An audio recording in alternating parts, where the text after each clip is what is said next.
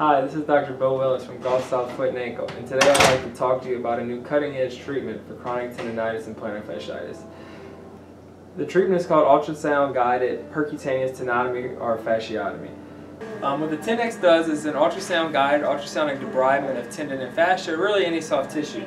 Uh, it breaks up scar tissue and removes any uh, disease or pathologic tissue as well as any bursa of the surrounding tissue. This is the Tenex machine. Um, it just has the different settings as far as the irrigation, the aspiration power, and the cutting power. this is the probe, or the Tenex handpiece. It has a sharp tip as well as um, a suction around the tip, and it sends ultrasonic sound waves.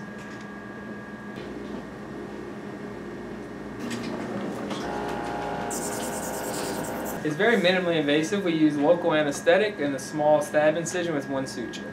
It's minimally painful. Usually patients feel better the next day.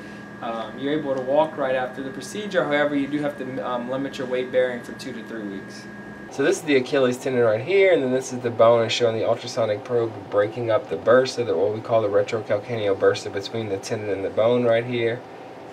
The probe is this bright white, and what we call hyperechoic um, instrument right here.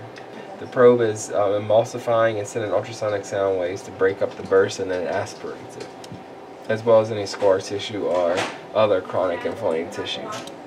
So this is showing the, the bright little line, white line right here um, is the uh, cortical bone with the plantar fascia coming in inserting right here and then this bright what we call hypoechoic instrument that's moving back and forth is the probe which is um, which I'm swiping the fascia to break up any um, scar tissue or uh, chronic inflamed tissue as well as any bursa or fluid pocket in the area. What it does is sends ultrasonic sound waves to um, emulsify and then aspirate out the inflamed tissue.